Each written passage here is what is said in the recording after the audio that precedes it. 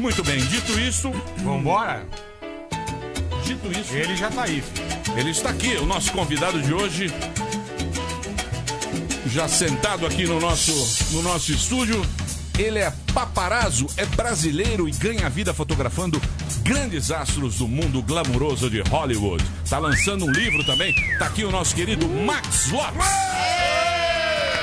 No sábado, no sábado, dia 13, agora ele vai estar lançando o livro A Vida de um Fotógrafo de Celebridades no Shopping Cidade Jardim, na Livraria da Vila. É isso aí. É isso, Max. É e, isso e aí. você é o primeiro brasileiro que tá. É, muita tá. Bom dia aí, boa tarde a todos. É, realmente, já faz 10 anos que eu sou paparazzo em Hollywood. Você mora na Califórnia? Você mora onde? Em, Moro em Los Angeles há 12 anos. em Los Angeles. Isso, e há 10 anos já sou paparazzo. E nesses 10 anos, acho que muita gente tem muita curiosidade na minha profissão, fazendo muita pergunta, como é que eu fui para os Estados Unidos, como é que eu entrei no paparazzo e de quem eu tiro as fotos. E tirando todas essas dúvidas, eu resolvi fazer um livro. Fazer um livro que tá aqui, tá sendo lançado agora no, no próximo sábado. Sábado. Você pode ir lá ganhar autógrafo. E como é que você entrou neste mundo da, da- de paparazzo? Ah, começou tudo com meu pai. Meu pai é o Xaxá, ex-jogador de futebol aqui no Brasil. Quando eu- Xaxá? Xaxá, ex-ponta direita. Igual louco. É isso Olha. aí. É, Xaxá. E aí, quando ele foi dar aula nos Estados Unidos, futebol, me levou junto. Só que eu tinha um problema muito sério, viu? Eu não falava inglês. eu acho que isso aí facilitou a entrada do paparazzo, né? E aí eu fiz uma amizade com um surfista, que já era paparazzo, o Ismael, um abraço pra ele. E ele falou, você quer virar paparazzo? Eu falei, paparazzo? Que parada é essa? Não entendia nada, né? Era uma coisa muito estranha. Bate a foto na rua e ganha vida com isso. E eu acabei entrando e, ó, vou te dizer, é uma profissão muito difícil. muito difícil. Eu Não é fácil, imagino.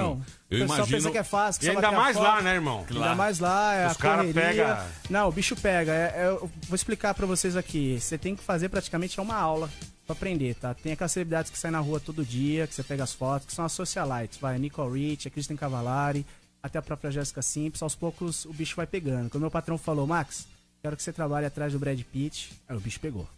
Aí já é mais É complicado. complicado porque já é mais poder, já tem muita fama no mundo inteiro, eles têm um sistema de segurança muito forte. Tem um sistema de segurança que fica nos Estados Unidos, eles têm um sistema de segurança que fica também direto na Europa. Você chega lá na casa, a primeira coisa que eles fazem é bater foto do seu carro, com a placa do carro eles sabem tudo de você- de você, de onde você nasceu, de onde você veio, onde você mora. Chegaram pra mim e falaram, pô, porque você mora em Redondo Beach, mora aqui perto, pô, tua namorada é essa, isso, aquilo, sabiam realmente Mas meio ameaçando Pegam- isso? Não, na verdade não é nem ameaçando. É que se você cometer alguma coisa errada, eles sabem onde te achar. E também pra O que proteger. seria errado? Ah, errado seria você, vai, passar, vai atrás dele, passar um sinal vermelho, atropelar alguém. É, você poderia. mas qualquer coisa que você cometer de errado seria assim um benefício pra prova. eles pra te tirar dali. Que é isso que eles querem. Mas eles jogam um jogo limpo. Tipo, eles esperem você errar pra Eles não são te complicar. sacana. Não, É. não, não. O que eles podem te complicar, assim, que, que é o pior, é bloquear. Ele, você tá indo atrás do Brad Pitt e o, cara segurança trava do nada você. parar. É, o Brad Pitt, quando ele nota que você tá atrás, ele começa a dar voltinha no quarteirão. Tanto ele como a Angelina Jolie. Quando- Porque o mais difícil você descobrir do, do Brad Pitt é você descobrir qual carro que ele vai sair de casa, tá? O Brad Pitt, ele vive através de carro alugado. Eu acredito que dentro da casa dele deve ter uns oito carros alugados. E aí é o seguinte, a própria empresa que aluga o carro pra ele, deixa carro dentro de hotéis, deixa carro dentro de estúdio, deixa carro dentro da casa dele. Se ele notar que tem um paparazzo atrás, ele vai no hotel que tem um, tem um outro carro, ele troca, ele vai no estúdio, ele troca. Se ele vê que você Nossa. continua indo atrás, ele, ele chama o segurança, o segurança vem e bloqueia. Bloqueia assim, cruza o carro no meio da rua, Pra você não fica pra passar. trás, pra você não passar. Mas de repente, ô Max, se ele parar pra falar com você, tirar duas fotos, não seria melhor? Ah, eu vou te falar sobre o Brad Pitt. Aí Cons- você parava de encher o saco Ele é dele, fofo. beleza. Super fofo. O cara é gente fofo. fina. O cara, eu- acho que pra mim, do poder aí, é o número um e o mais simples que tem, tá? E você vê até pela roupa dele, né? Sempre anda de preto, tanto ele como a Angelina Jolie, que é um detalhe interessante. Por que, que vocês acham que eles andam de preto? Por quê? não valer a Menor foto. ideia. É, andar de preto é justamente. Aparecer a mesma foto. É a mesma foto e é, dificulta a venda, tá? Se você pegar na segunda com a mesma roupa, na quarta na mesma roupa, a revista fala, pô, é a mesma, a mesma roupa, a mesma coisa, é difícil de vender. Tá de brincadeira. Por É, isso que já- o Matthew McConaughey, ele corre com a mesma roupa também todos os dias. Exatamente. exa- Matthew, Ma Matthew McConaughey. Matthew McConaughey. Você sabe que eu Isso tô aí falando. Ganha um dificulta a venda mesmo, viu? É complicado de vender a foto com a mesma roupa.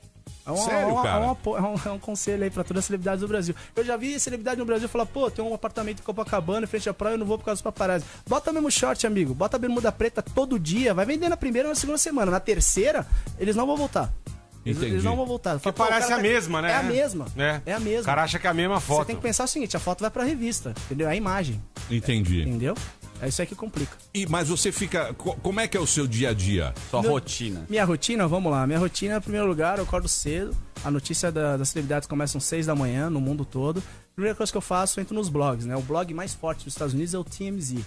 O TMZ ele é muito forte, é um blog, é um, um blog, um canal de TV só de notícias, notícia de celebridades. Por que, que ele é forte? Eles têm contato dentro do hospital, se alguém se machuca, eles ficam sabendo. Eles têm contato dentro da corte, se alguém processa alguém, eles ficam sabendo. E Eles só contato- bicha trabalha lá. Como tem bicha? Nossa, Eles têm como tem contato, viado eles- todo. Só bafão. É, eles têm é. o que acontece, eles têm um contato é, justamente nos lugares que rola news, notícia. Se alguém bateu o carro, vai pra polícia, a gente fica- eles ficam sabendo.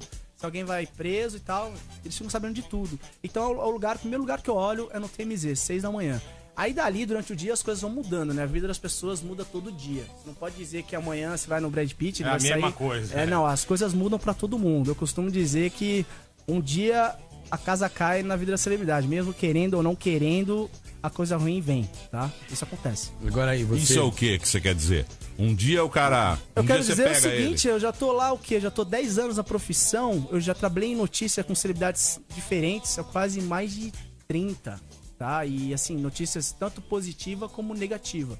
Eu acho que a celebridade menos quer é a notícia negativa, né? Porque a foto tem dois caminhos, tanto positivo como negativo. Uma coisa interessante de falar disso é que sempre quando eu sou entrevistado por aí, muita gente vê, me vê, pô, paparazzo, assim, já vê o lado negativo, tá? Olha, pra dizer uma coisa, eu tenho um arquivo de quase 200 mil fotos nesses 10 anos e quase 95% das minhas fotos é, é positiva. É foto de celebridade shopping, passeando, é, mostrando as crianças curtindo a vida na praia. É muito difícil até hoje você pegar uma imagem da celebridade fazendo alguma coisa negativa. Eu costumo dizer que o negativo tá vindo geralmente pelo celular. Pra mim, o celular Entendi. hoje. É o mais inimigo- perigoso do Hoje, que- pra mim, o celular é o inimigo número um das celebridades no mundo inteiro, porque É. todo mundo tem. Todo mundo é um paparazzo. Todo mundo achou- virou O paparazzo. que, que você achou do cara aí que aconteceu aqui no. Nosso amigo No lá? restaurante, essa foto É, aí. é, do- do- Eu achei engraçado esse bafafá todo aí, porque sempre. Porque simplesmente. de um beijinho, né, pô? Não, é, vamos lá. Porra, o cara deu um beijinho A na pergunta- mina ali no, no hotel, pô. É, um Vocês concordam comigo? Você concorda comigo? Quem fez a história foi ele, não foi? Foi ele que beijou? Foi. ele que traiu? Não, mas peraí, não. mas Calma, peraí. nós não Foi sabemos ele, se houve traição. A quem interessa? Peraí, peraí. Nós não sabemos nada dessa história. Ele, você tá, O ele, único cara que sabe.